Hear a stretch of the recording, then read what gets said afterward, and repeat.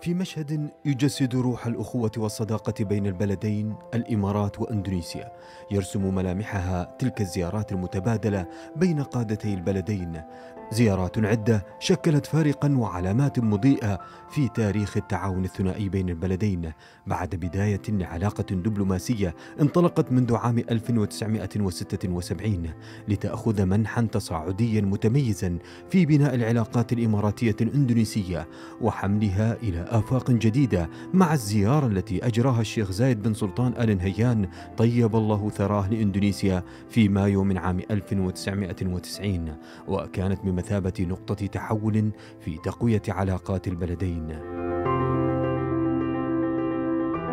وفي مايو عام 2006 أجرى الرئيس الأندونيسي السابق سوسيلو بامبانغ يوديونو زيارة لدولة الإمارات تلتها زيارة أجراها فخامة جوكو ويدودو رئيس إندونيسيا في سبتمبر عام 2015 اتصالات هاتفية ورسائل خطية لمناقشة مختلف أوجه العلاقات الثنائية وسبل تعزيزها خاصة في المجالات التنموية وذلك في إطار الشراكة الاقتصادية الشاملة بين البلدين إضافة إلى عدد من القضايا الإقليمية والدولية محل الاهتمام المشترك وزيارات متبادلة لوزراء مع وفود رفيعة المستوى بين الجانبين. وفي يوليو عام 2019 أجرى صاحب السمو الشيخ محمد بن زايد آل نهيان رئيس الدولة حفظه الله زيارة لإندونيسيا.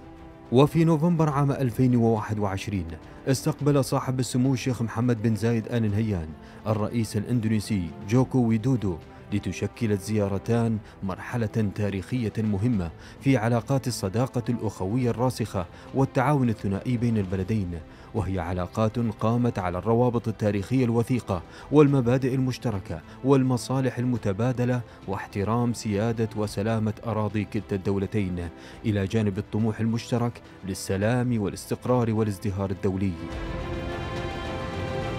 وفي يوليو عام 2022 استقبل صاحب السمو الشيخ محمد بن زايد آل نهيان الرئيس الإندونيسي جوكو ويدودو حيث تم إبرام اتفاقية شراكة اقتصادية شاملة لتوطيد العلاقات التجارية البينية بين البلدين.